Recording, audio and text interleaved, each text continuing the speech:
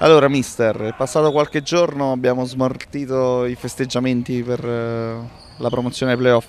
Sì, sì, abbiamo festeggiato una, una buona Pasqua. E sì, è stata una, una, bella festa, una bella soddisfazione quella che, che abbiamo vissuto sabato.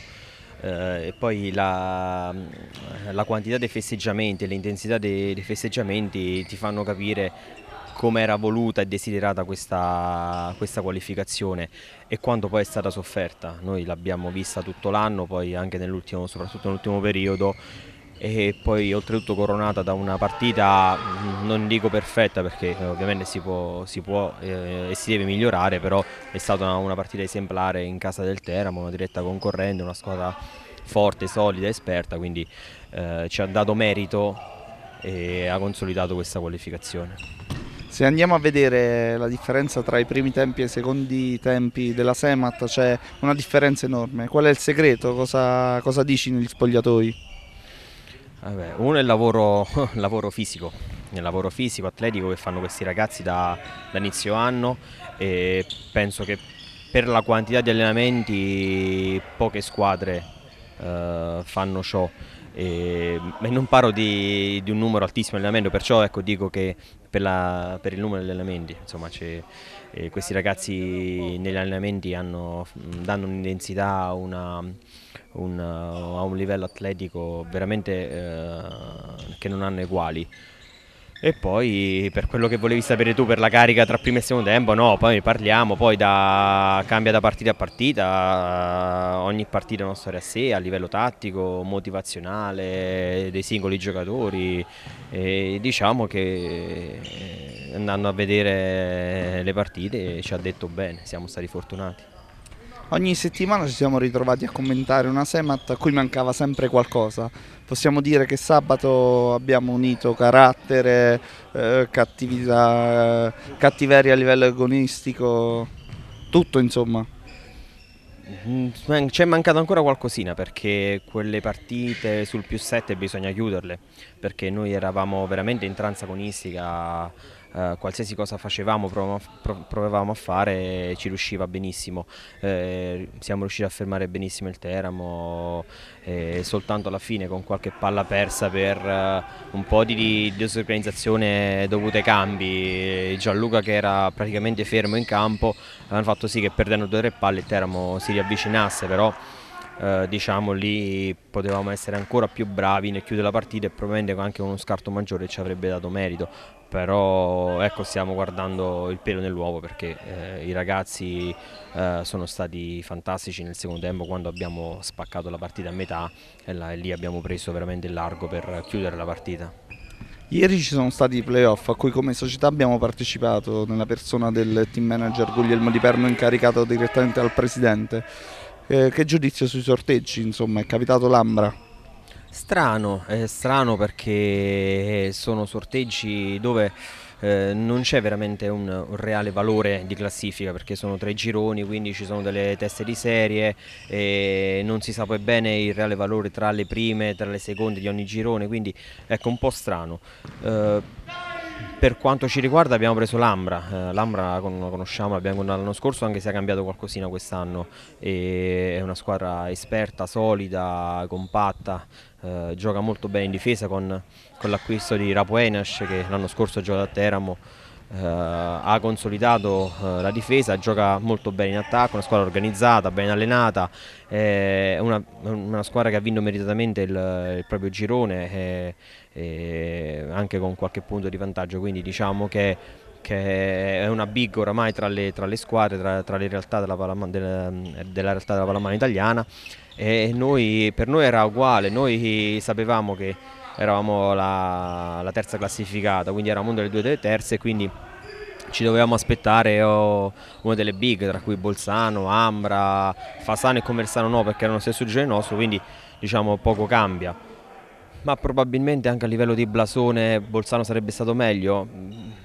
Forse, eh, perché comunque eh, l'Ambra abbiamo visto anche in Coppa Italia non è molto inferiore a Bolzano, sì probabilmente Bolzano vinto lo scudetto, ha vinto la Coppa Italia, ha qualcosina in più anche di esperienza, però diciamo l'Ambra si sta testando a questi livelli.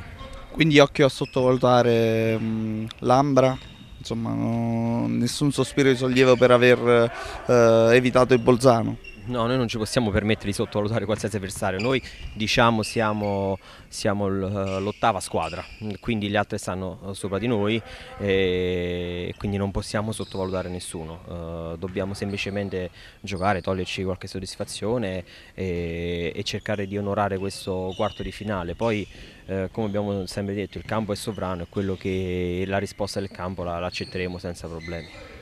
E quindi adesso ci attendono 20 giorni di fuoco? Sì, ci stiamo allenando, eh, ci stiamo preparando questi, questi playoff, eh, andremo a giocare la prima, la prima d'Ambra la, il 13, il, il 20 aprile verremo, eh, l'Ambra verrà a Fondi, poi vedremo se ci sarà l'eventuale Bella, eh, sappiamo come, come gioca l'Ambra, l'ho già studiata, ragazzi ancora, ancora no, la prepareremo con calma, abbiamo una settimana e mezza di allenamenti, quindi diciamo che siamo, ci stiamo preparando. Va bene mister, ehm, tutti in attesa allora per non sabato questo ma tra sabato 20 per eh, una grande partita qui al palazzetto. Beh, potrebbe essere una grande festa al di là del, del risultato perché ho visto che anche, anche, tutta la cittadinanza di Fondi eh, si sta accorgendo che esiste la palla a mano, eh, non quella giocata ma quella a livello sportivo, di campionati, che arriva ai playoff e diciamo che questo fa, fa un gran bene nel, per noi, per la società, per il lavoro che stiamo, che stiamo facendo. Uh, è vero il 13 andremo ad Ambra, poi vediamo il risultato che ci sarà ad Ambra, ci giocheremo una seconda partita in casa cercando di, di ben figurare, ovviamente di non perdere davanti al nostro, nostro pubblico, uh, poi vedremo se congratularci con gli avversari, esultare noi, andare a giocare la terza di nuovo ad Ambra, insomma eh, nulla ci è precluso perché adesso ogni partita ha una storia a sé, una partita secca in cui noi potremmo dire tanto. E però ecco, dobbiamo stare attenti perché siamo gli ultimi arrivati, arriviamo in punta di piedi senza andare a, a, a togliere il pane a nessuno, però insomma vogliamo, vogliamo giocarcela. Un'ultima domanda mister, allora sabato a Teramo si è vista una partita vetrina per eh, lo sport della pallamano italiana, siamo convinti che la società vorrà ripetere la stessa esperienza, visto anche gli sforzi della, della, del Teramo per preparare uno spettacolo all'infuori del campo. Siamo sicuri che la Semat vorrà onorare eh, l'impegno dei playoff allo stesso modo e cercare di, di creare così un, uh, di dare un segnale forte alla federazione alla, e allo sport in generale. Ah, prima di tutto vorremmo onorarlo sul campo con dei risultati.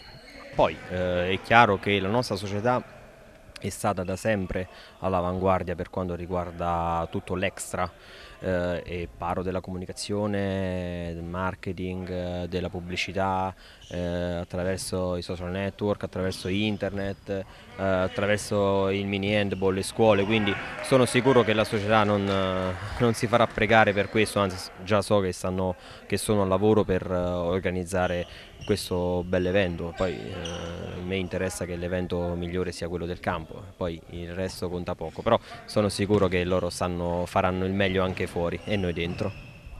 Eccoci con il capitano Stefano Di Manno. Stefano, allora abbiamo smaltito i festeggiamenti? Sì, sì, abbiamo smaltito, ce la siamo goduta, però ecco già da stasera ricominciamo a lavorare. Speriamo bene. Sabato è stata una partita importante, eh, una grande Semat si è visto, soprattutto nel secondo tempo che non ha lasciato scampo al Teramo. Sì, è stata una partita ben preparata, ben giocata, i ragazzi, compreso me, abbiamo interpretato bene la gara. E il Teramo è stato fortemente in difficoltà, infatti abbiamo, siamo riusciti a, a, a, mettere in cantiere un bel break che, che, che poi abbiamo gestito fino a fine gara. Tu hai giocato anche ad alti livelli già, oltre che quest'anno in Serie A con il Fondi. Che sensazioni però si provano a raggiungere i playoff? Eh beh, certo, sono motivazioni diverse, eh, sono delle sensazioni che penso che non sono spiegabili a parole, però posso assicurare che sono sensazioni che ripagano di tutti i sacrifici e il lavoro che da agosto stiamo mettendo in campo. Questo è quel breve momento ripaga di tutti gli, degli sforzi fatti per mesi, questo è incredibile. Ieri ci sono stati sorteggi per i playoff, per gli accoppamenti dei playoff. Al Fondi è capitato Ambra. Sospiro di sollievo per aver evitato Bolzano per esempio attenzione anche Ambra è una grande squadra? Io penso che arrivati a questo punto ogni squadra è molto forte. L'Ambra non scordiamo che è arrivata, eh, ha fatto prima nel suo girone, quindi è una squadra molto molto temibile. Eh, il fatto che ci sia capitata Ambra non vuol dire eh, cioè la favorita del, del, del, per passare il turno è comunque Ambra, senza fuori discussione. Noi metteremo come sempre anima e corpo per, portare, per fare una bella figura, eh, indipendentemente dal risultato. E adesso il 13 ci attende la difficile trasferta ad Ambra e poi il 20 in casa. Cosa ti attendi? Una bella risposta del pubblico? Certo, io penso che eh, il pubblico ha sempre risposto bene a queste grandi gare eh, però penso che eh, è, una, è, un evento storico che il Fondi sia ai playoff scudetto, quindi il pubblico fondano appassionato come di pallamano non si farà scappare l'occasione di gustarsi una, una, partita a grandi livelli e, e comunque noi facciamo appello eh, il 20 aprile, non solo orario ancora, penso alle 6 in tutti i casi, spero che tutto il pubblico fondano e gli appassionati di pallamano vengano a vedere questa interessante partita. Alle 7, mi dicono le 7. Eccoci con Marco Lauretti alla sinistra della Semat. Marco, allora, sabato eh, è stata una partita storica per la Semat, una vittoria storica.